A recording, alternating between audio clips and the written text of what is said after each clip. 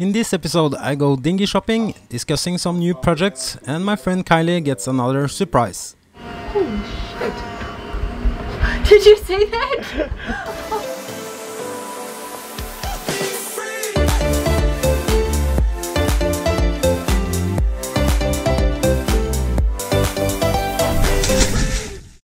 After lots of fun last week, Kylie also got a rig inspection. We started this week going into Carib's service pier again. They are already going to start on Kylie's boat, so I'm of course joining her to dock her boat. It's one one window, the whole thing.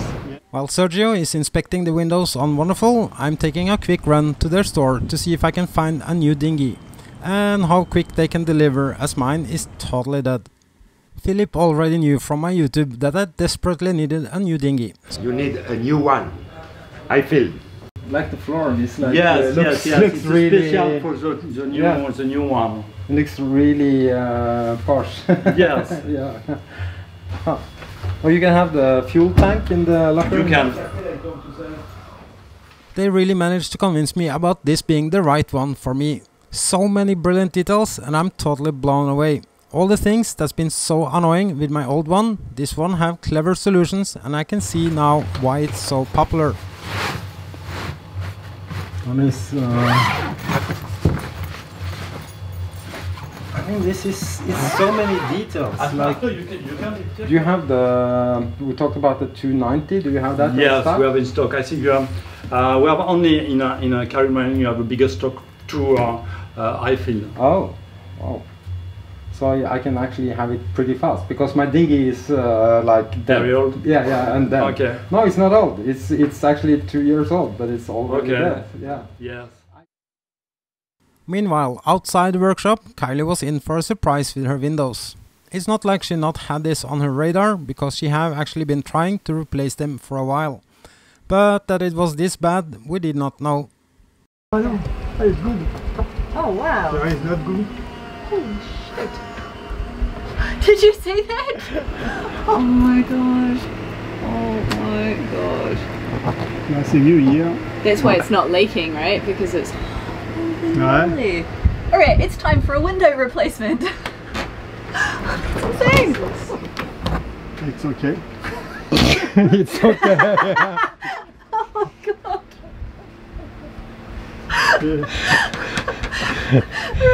You know?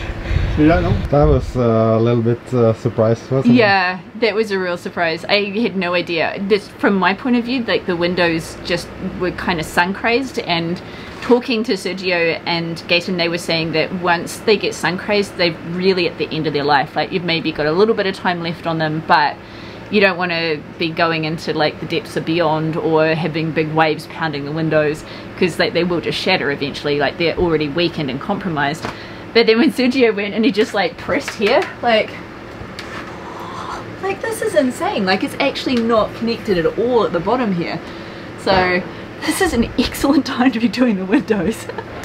And once your boat start reaching 10, 12 years, Hmm. there's a lot of things that need to be addressed. really, really, especially if you're going to sail like into places where there's not a lot of places to get work done, and if you're actually going to challenge the boat pretty heavily with some decent, strong sailing. So something like that, like. Yeah, I'm really glad that these guys can do this here. Like, I'm super surprised. Like, I've tried six months with my assistant, with Beneteau, like just back and forth trying to like confirm on the parts and get them in and just not having any luck. Usually they're good with other stuff, but the windows have been really challenging.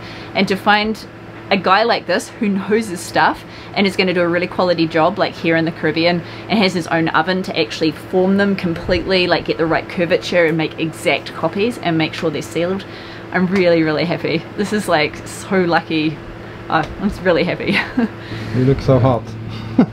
like, seriously hot. thank you So yesterday was a hard day. yes. Uh, was you not supposed to be non-alcoholic today? What? I should say, it's a double as well, which is. And I like try the 75. Our beautiful friends had invited us for dinner. what are you making? A little bit of tomato risotto with some chorizo. gin on the side and a gin on the side, obviously. Yesterday was definitely a fun night, but back to business as we have lots of things to sort out. At least Kylie finally will get her windows sorted out, as they have lots of experience replacing windows here. I could see ongoing projects on everything from a lagoon to a pretty new ML. Our friends here gave us the full tour of all their departments, and I learn something new every time I'm here. I have postponed some projects myself as I want it to be done here. Like, tu les mets à cuire combien de temps euh, Une heure, une heure et demie, ça dépend. It depends on the thickness, but it goes from an hour to two hours.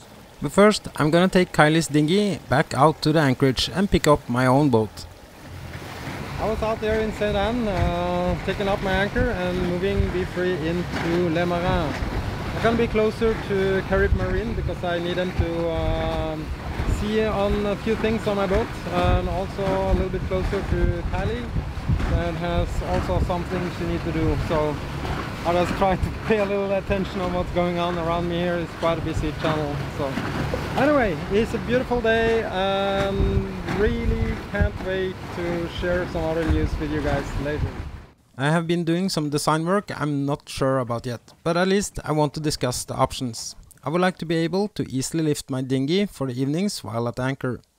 I will still have my dinghy in the garage when sailing, but it's too much hassle with a 15 horsepower on off on a daily base.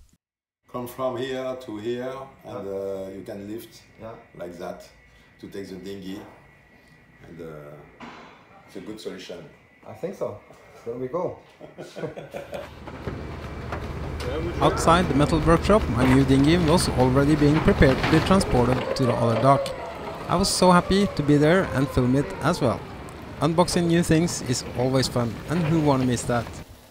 There is a big quality difference in dinghies, and PVC doesn't last long in the tropical sun. However, the major problem with my two-year-old dinghy is the poor quality in glue, making it just falling apart everywhere. I'm definitely gonna invest in a cover as well to extend the lifetime of my new dinghy. Also come even uh, a dry bag. This is unbelievable. I feel dry bag to go with the dinghy. How awesome is this? And look here.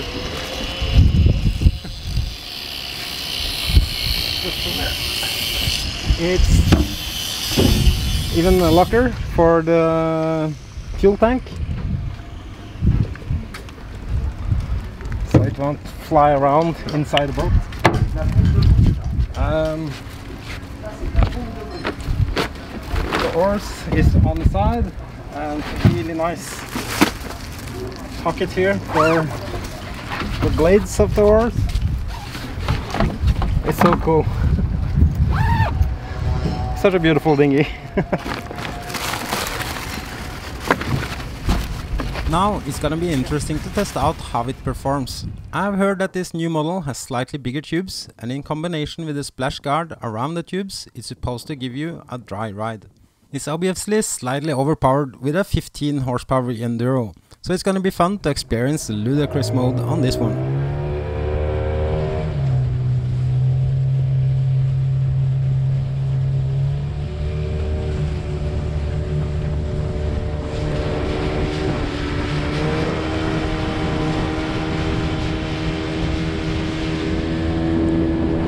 As you can see, I'm not getting wet ride on this one.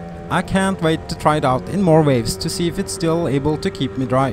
But so far, I'm super impressed. Enough playing around for now. Kylie and I are in the fast lane and have tons of things to do. You probably noticed in previous episodes not only my lazy bag is destroyed by the sun, but also the umbrella on my Genoa. I also have some things I'm not happy with my main mainsail and I need to redesign it, as it's in my head seems a bit wrong cut in the lower section.